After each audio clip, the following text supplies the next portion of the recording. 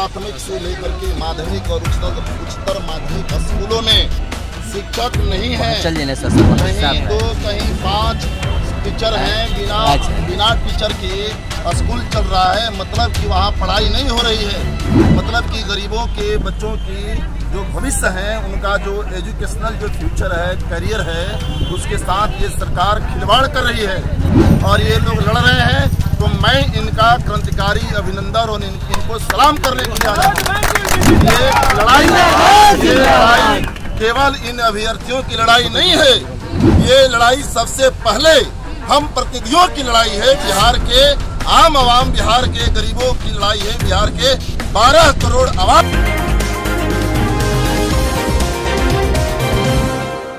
प्राथमिक से लेकर के माध्यमिक और उच्चतर उच्चतर माध्यमिक स्कूलों में शिक्षक नहीं है। चल जाने सर वहाँ कहीं दो कहीं पाँच टीचर हैं बिना अच्छा। बिना टीचर के स्कूल चल रहा है। मतलब कि वहाँ पढ़ाई नहीं हो रही है।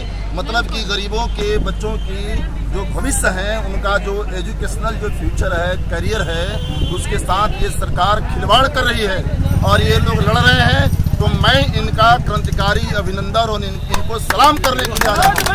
ये लड़ाई ये लड़ाई केवल इन अभ्यर्थियों की लड़ाई नहीं है ये लड़ाई सबसे पहले हम प्रतिनिधियों की लड़ाई है बिहार के आम आवाम बिहार के गरीबों की लड़ाई है बिहार के 12 करोड़ आवाम की लड़ाई है, आवाम की लड़ाई है, ये लड़ाई केवल इनकी लड़ाई नहीं है। 15 अगस्त से पहले हम लोग का नोटिफिकेशन निकल जाना चाहिए। तो क्या ऐसा हो पाएगा?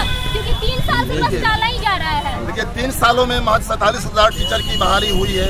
इन्होंने जुलाई में नोटिफिकेशन निकालने का वादा किया था। ये शिक्षा मंत्री माननीय विजय कुमार चौधरी जी लगातार शिक्षक अभ्यर्थी और बिहार के बच्चों को धोखा दिया जा रहा है।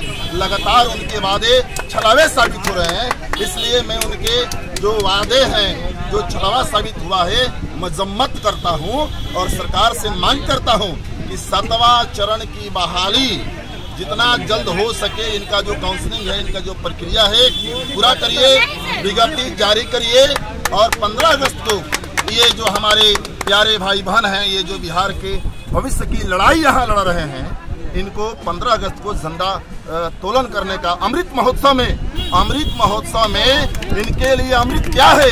सतवा चरण बहाली।